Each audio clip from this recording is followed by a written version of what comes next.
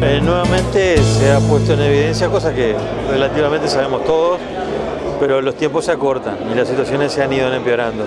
La necesidad de recuperar la competitividad que tiene el país hoy es más urgente que antes y, probablemente el costo que tenga la misma, sobre todo relacionado al costo político, es cada vez más alto.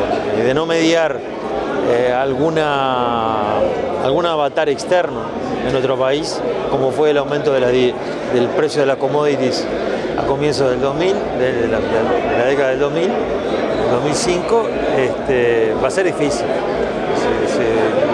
las medidas cada vez son más claras las que hay que tomar, están relacionadas al acceso a los mercados, a, lo caro que estamos, este, a, mejorar la productividad, este, al gasto, gasto público, y todas son medidas que implican, la mayoría de ellas, un, costo político.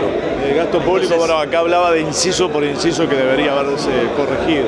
Bueno, eso fue una medida que se proponía al final, es que no hay autoridad moral para pedir un aumento en los impuestos o en el aporte que la sociedad hace al Estado si antes no se revisan las cuentas públicas, las cuentas del propio Estado. Si no se revisan inciso por inciso y se chequea que las cosas se están gastando en lo que se tiene que gastar, que no hay autoridad moral para, pedirle más impuestos a la población. Este, yo creo que eh, quedó claro que, esto va a ser para un gobierno de coalición.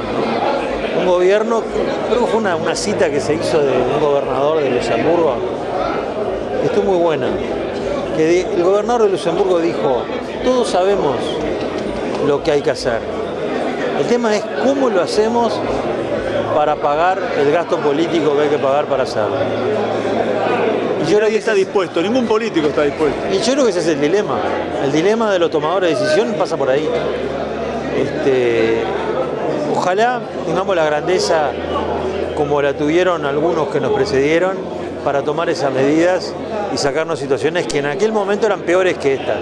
Y que si no se toman medidas en, estos momentos en ese sentido, este, va a ser peor. Vamos a volver a vivir esa situación la situación de desempleo que nadie quiere vivir, porque esto es lo que lo, sufren es, la, parte más humilde, ¿no? los más necesitados. Este, para aquellos que estamos en un momento en el cual el país está muy caro, el país que nos lideraba, nos ganaba, Argentina ya nos dejó atrás y hoy quedamos ubicados en la tabla. Hoy tenemos que hacer ajustes que nos permitan seguir exportando y seguir generando recursos genuinos para el país.